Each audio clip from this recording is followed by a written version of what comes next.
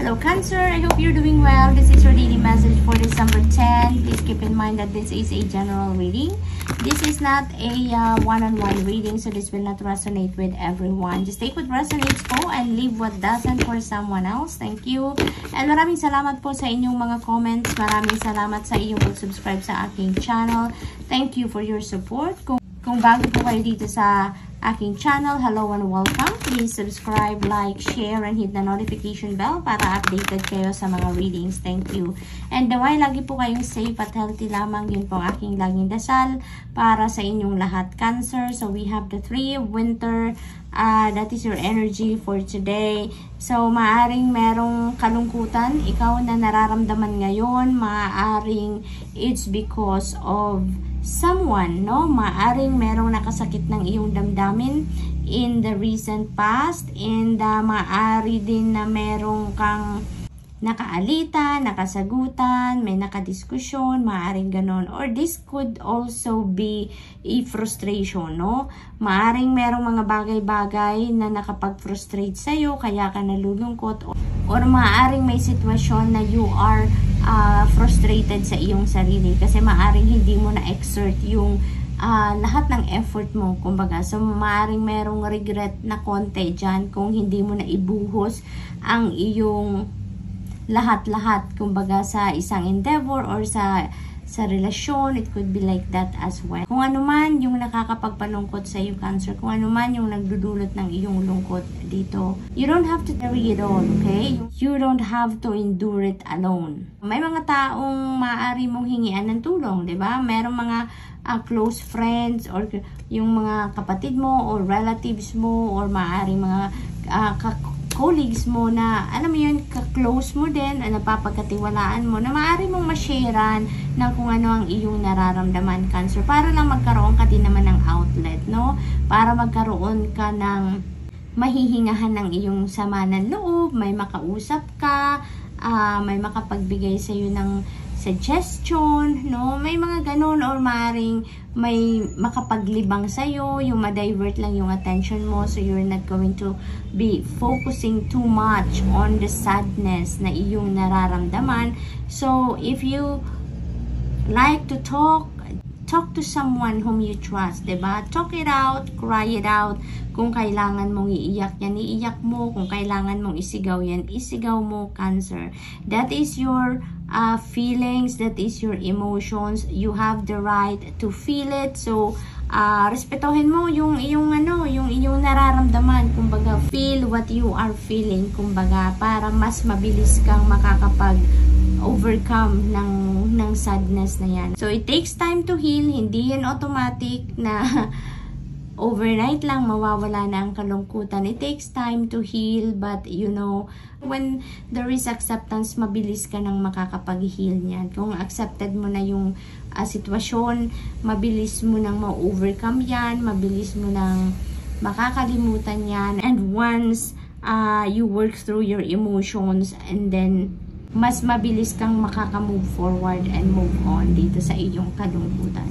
So, Cancer, that's all I have for you for today. I hope nakatulong ang reading na ito in some way. Thank you for watching. Love and light. Namaste. Hello, Scorpio. I hope you're doing well. This is your daily message for December 10. And please keep in mind po that this is a general reading. This is not a one-on-one -on -one reading. So this will not resonate with everyone. Just take what resonates po and leave what doesn't for someone else. Thank you. And maraming salamat po sa inyong mga comments. Maraming salamat sa iyong pag-subscribe sa aking channel. Thank you for your support.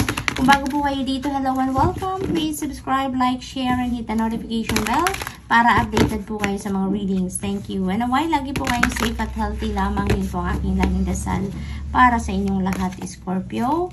Ang mensahe ninyo is the Three of Spring. Napakaganda, napaka-vibrant ang energy dito, napaka-optimistic, so which is really beautiful. So, sinasabi ng energy na ito for you, uh, Scorpio, na meron ka ng mga nakikita, no, na, na resulta ng iyong mga endeavors, yung mga ginawa mong efforts, um, recently, meron ka nang nakikitang bunga kumbaga, meron ng uh, return of investment dito, kumbaga, in some way, no? Uh, para sa iba sa inyo dito, uh, Scorpio, yung mga ginawa ninyong ang mga bagay-bagay dyan, whether that is in your trabaho, in your career, in your relationship, in your business, whatever the case may be, meron ka nang nakikinikinita dito na resulta, magandang resulta, meron na magandang outcome ang mga uh, ganap no sa buhay mo dito Scorpio. And uh, alam mo meron yung mga accomplishments mo na yung mga na-achieve mo na no dito merong success dito na ikaw na na-achieve somehow eh. Hindi pa siya big time but magandang simula na yon maganda ng uh, inspirasyon yon para sa iyo no? And now uh, tinatawagan ka ng energy na ito na take a pause. Ngayon nakikita mo na maganda ang takbo ng lahat no? Sa kung ano mang area ng buhay mo yan, uh, it's time to take a pause and then you can uh, reflect on the things that you did already and reflect on the things that you may want to do in the near future because now is the time uh, to make future plans now even bigger future plans kasi uh, yung energy nito sinasabi nito na there is an expansion happening soon, no? So, ito yun, before you do that, make uh, some kind of review muna, mag, mag-reassess ka muna ng mga kaganapan sa kung anumang area yan, no, na, ng buhay mo, so that you can uh, come up with a effective approach, no, sa future endeavor mo dito, so that mas magiging successful ka pa and mas magiging bongga yung gagawin mong expansion dito. So, continue to persevere, Scorpio, is what I am picking up here. Because ngayon pa lang, meron ka ng tagumpay na, na, na nakakamit dito. How much more, no, in the near future, kapag nag-expand pa kung ano man tong ginagawa mo ngayon, then you're going to claim an even bigger victory dito, an even bigger success uh, dito for, for this endeavor. So, Scorpio, that's all I have for you for today. I hope nakatulong ang reading na ito in some way. Thank you for watching. Love and light. Namaste. Hello Pisces, I hope you're doing well. This is your daily message for December 10. Please keep in mind po that this is a general reading. This is not a one-on-one -on -one reading, so this will not resonate with everyone. Just take what resonates po and leave what doesn't for someone else. Thank you. And maraming salamat po sa inyong mga comments. Maraming salamat sa iyong pag-subscribe sa aking channel. Thank you for your support.